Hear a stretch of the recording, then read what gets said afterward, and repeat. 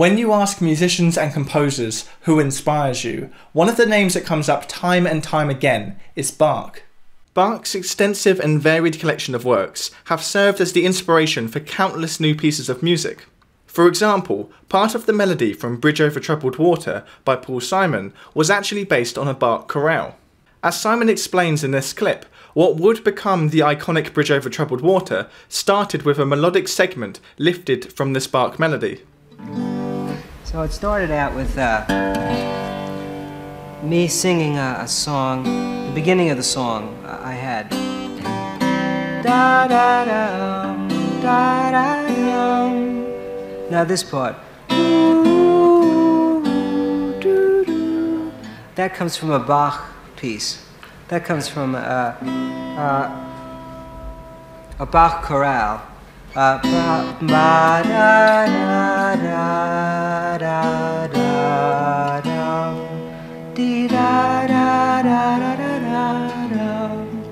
so that was in my mind, so that's how that part slipped in.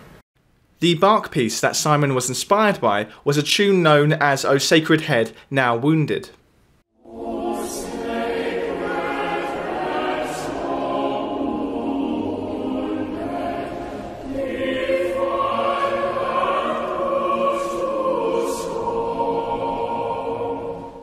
Even though we know that Paul Simon started with this segment of melody to write his tune, it's very hard to find anything that resembles Bach's original melody when looking at Bridge Over Troubled Water. The only similarity really that I could find is that the contour here on this part of Bridge Over Troubled Water's melody is similar to the contour in Bach's original melody here.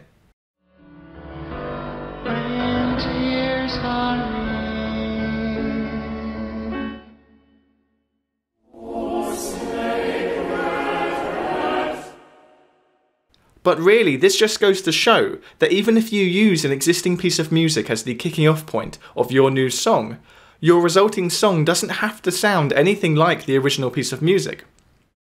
Paul Simon actually used this very same Bach melody again when he wrote his song American Tune, and this time the similarities to Bach's melody are far, far clearer.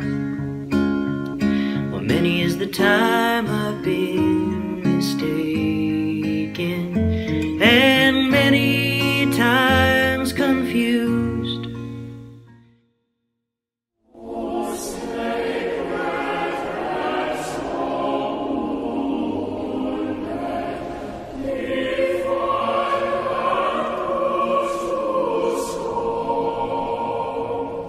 On this occasion, Paul Simon has actually directly lifted the melody and chords from the original Bach chorale and has set his own lyrics to it.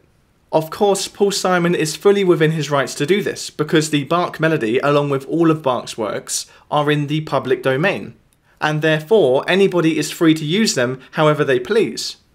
Interestingly, just like Paul Simon, Bach himself used this tune on more than one occasion, featuring it in a variety of his works. But the similarities between Paul Simon and Bach's relationship with this tune don't just stop there. Both didn't just use the tune on multiple occasions, both actually borrowed the tune from a previous composition. Bach didn't actually write this melody, instead, he borrowed it from an earlier hymn by Paul Gerhardt. But the story doesn't stop there. Gerhardt also didn't write the tune, he too borrowed it from an earlier work, this time by Hans Hassler.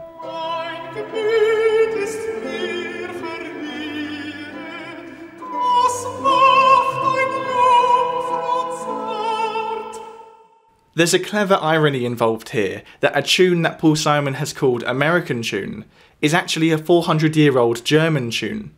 But this actually plays really well into the themes of American Tune. One of the lyrical themes of American Tune is the story and struggle of the original settlers who came to America. And in the same way that they were Europeans who became Americans, this piece of music which describes their story was a German tune that came to America and became an American tune. Another legendary songwriter to be inspired by Bach is Paul McCartney. The inspiration for the Beatles' legendary Blackbird actually came from a guitar arrangement of Bach's Bourrée in E minor that Paul and George used to play as a party piece. But we had a little piece which was like a, a, party piece to, to, to show people that, you know, we weren't as stupid as we looked. And it was, it was by Bach. Um, and it went like that.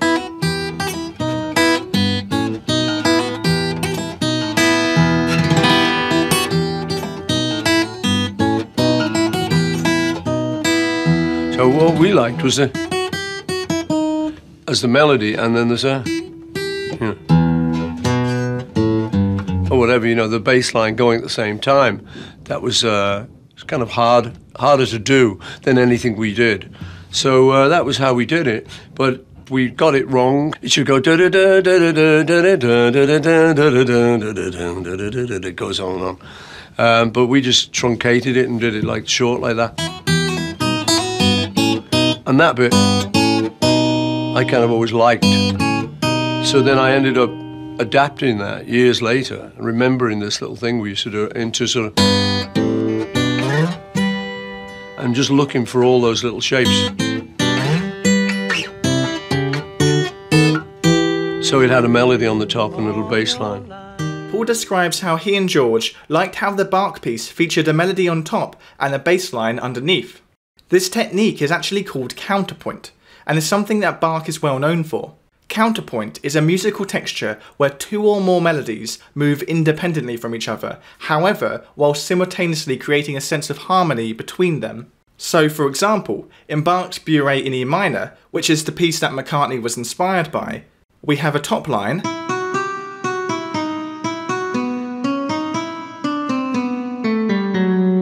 And a bass line. Both work as independent melodies with their own contour and rhythm. However, when the two are played together, they create a sense of harmony between them, despite the lack of any other accompaniment.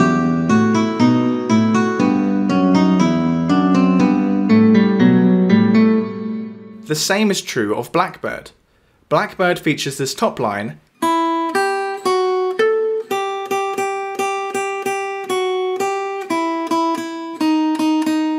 and this bass line.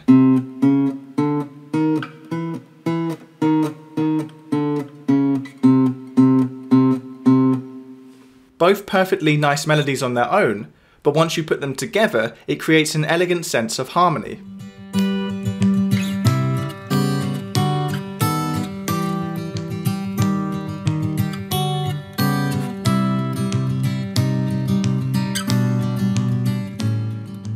Paul describes the process of writing Blackbird in his biography many years from now. I developed the melody on guitar based on the Bach piece and took it somewhere else, took it to another level. Then I just fitted the words to it. Looking at the music for Blackbird, you can see how McCartney has taken his inspiration from Bach, but then has continued in his own direction. For example, whereas Bach's piece features only two voices, a top line and a bass line, McCartney has used four voices three on the guitar, and the fourth sang by McCartney himself. On the guitar, much like the Bach piece, we have a bass line and we have a top line. But unlike the Bach piece, McCartney has also included a middle voice, which just pedals on the root note G, helping to glue all four voices together harmonically. Blackbird singing in the dead of night. Take these broken wings and learn to fly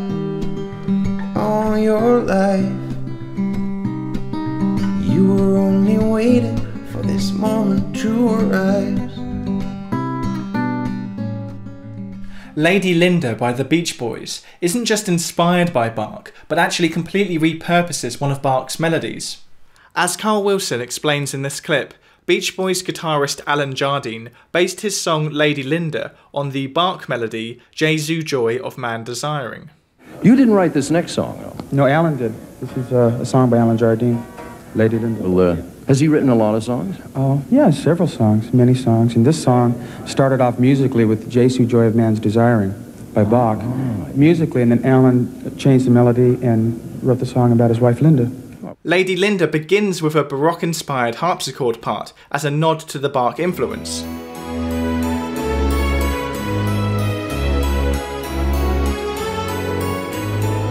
As you can hear, the intro is an unmodified rendition of the original Bach melody.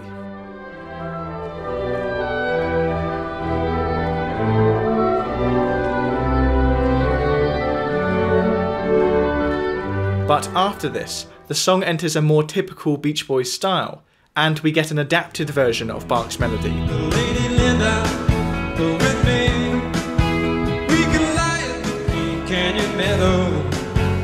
The Beach Boys have modified the timing of Bach's original melody, spreading it out into 4 4 time, rather than the compound 9 8 time we had before. Al Jardine co wrote Lady Linda with Beach Boys keyboard player Ron Altbach.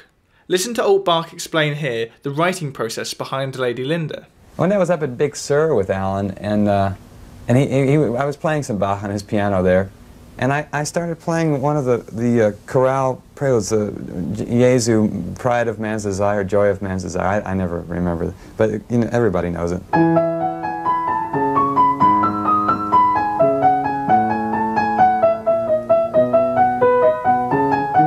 Yeah, I'm sure everybody's heard that. And uh, anyway, I had the idea to, to, to I started playing. I started playing a little different, little different rhythm, you know.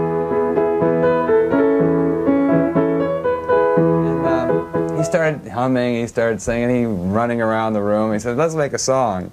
So I said, "Fine, let's make a song." So then he came up with some. He, came up with some really nice words. It goes about his wife. It was about Lady Linda. He called it. And it was a very pretty song. Not so much inspiration, but an outright tribute, to Toccata by the band Sky is basically a prog rock reimagining of Bach's famous Toccata and Fugue in D minor.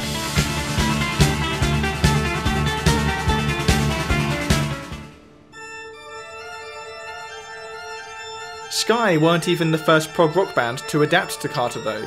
Dutch prog band Ekseption released versions of Toccata in 1973, seven years before Sky's version went to number 5 in the UK single charts. And whilst we're discussing Toccata and Fugue, it's also fairly clear that Muse's Plug-in Baby took at least some inspiration from this classic Bach piece.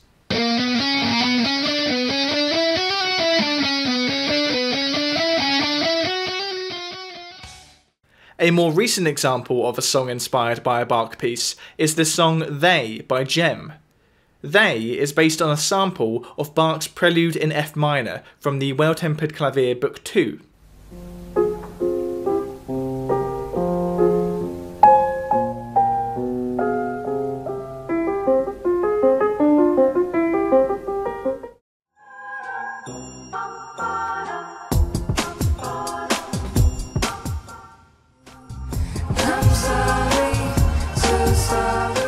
Listening to the sample, you may be thinking that doesn't really sound like Bach. And that's because Jem didn't sample the original version of Bach's Prelude in F minor, but instead sampled the Swingle Singers 1963 jazz arrangement of Prelude in F minor.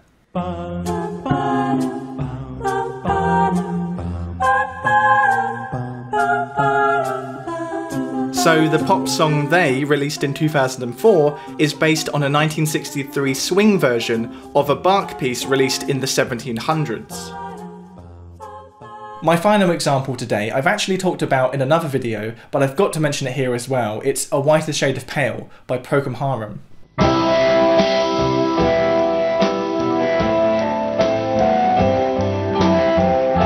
A Whiter Shade of Pale by Procol Harum is based on Orchestral Suite Number 3 in D major by Bach, better known by the name Air on a G string.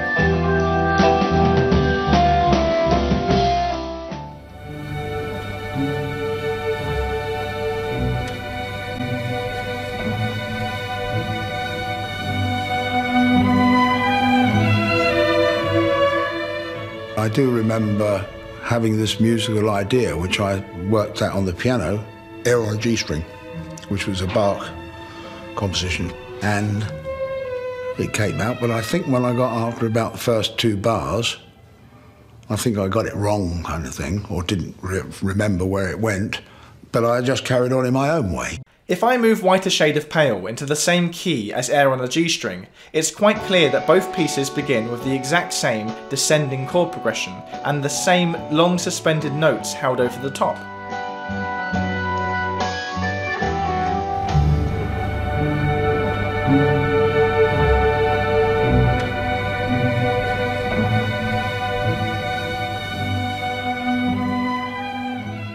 But after two bars, just like Gary Brooker said in the interview, Whiter Shade of Pale diverges from Air on a G string.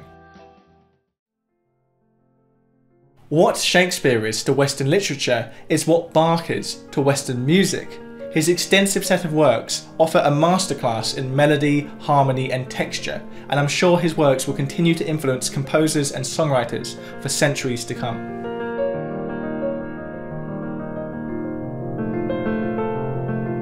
If you can think of any other pop songs that were inspired by Bach, then do put them in the comments below.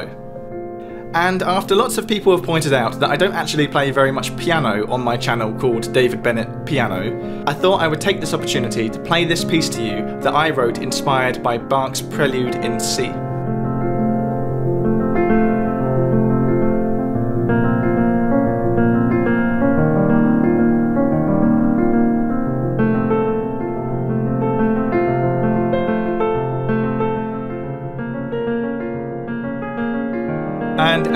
a massive thank you goes to my patrons, including Adam Granger, Andre Sainz Diaja, Andrew, Andrew Brown, Andy Deacon, Austin Barrett, Bob McKinstry, Brittany Parker, Bruce Mount, Cameron Allavaler, Chris Cabell, Kieran Bennon, Darren Harvey, D. David Lee Fish, David DeFundifer, Dr. Darren Wicks, Eleanor Skorchenko, Esben Hansen, Eugene Leroy, Eyes, FD Hodor, Golfhouse, Guillermo Latona, James Ko, J.A. Cockensparger, Joe Watson, Jonas Soderstrom, Justin Vigor, Lavender Mint Rose, Meg Fellows, Melody Composer Squared, Michael Vivian, Nancy Gillard, Pablo Ocampo, Paul Muller, Paul Peijzel, Peter Dunphy, Roger Clay, Schnitzelcraft, Sijin Kang, Steve Daly, Thomas Armstrong, Tim Beaker, Tim Payne, Toot, Vidad Flowers, and Vladimir Kodakov.